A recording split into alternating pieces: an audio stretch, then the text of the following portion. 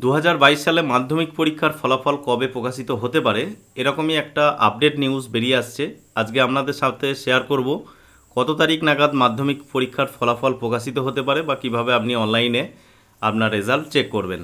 বিস্তারিত জানতে থাকুন চ্যানেলে নতুন হলে সাবস্ক্রাইব করে পাশে বেল আইকনে ক্লিক করে রাখুন পরবর্তী লেটেস্ট আপডেট সবার আগে পাওয়ার জন্য। তো বন্ধুরা, এখানে যেটা বলা হচ্ছে, মাধ্যমিক দু হাজার বাইশ পরীক্ষার ফল কবে প্রকাশিত হবে? তো এখানে যেটা বলা হয়েছে বিস্তারিত মধ্যশিক্ষা পর্ষদের পরিকল্পনা ঠিকঠাক এগোলে আগামী তেসরা জুন প্রকাশিত হতে চলেছে মাধ্যমিকের ফল। গত ষোলোই মার্চ শেষ হয় পরীক্ষা। দুই মাসের মধ্যে অধিকাংশ কাজই সেরে ফেলেছে পর্ষদ। বাকি রয়ে গেছে কিছু জেলার আরও কমিটির বৈঠক। আজ শনিবার পর্ষদের কর্তারা মেদিনীপুর আরও কমিটির সাথে বৈঠক করবেন। উত্তরবঙ্গ এবং বর্ধমান আরও কমিটির বৈঠক হবে আগামী তেইশ ও পঁচিশে মে। সব সেরে তেসরা জুন ফল প্রকাশের জন্য রাজ্য সরকারের অনুমতি চাওয়া হবে বলে জানিয়েছে পর্ষদের সদস্য।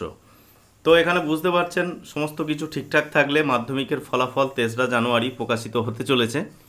এর পরবর্তী অফিসিয়ালি বিজ্ঞপ্তি এলে আবার আপনাদেরকে ইনফর্ম করব এবং মাধ্যমিকের রেজাল্ট জানার জন্য যে লিঙ্ক আমি ভিডিওর ডেসক্রিপশনে দিয়ে রেখেছি, সেখান থেকে আপনি ডাইরেক্ট এই পেজে পৌঁছে যেতে পারবেন।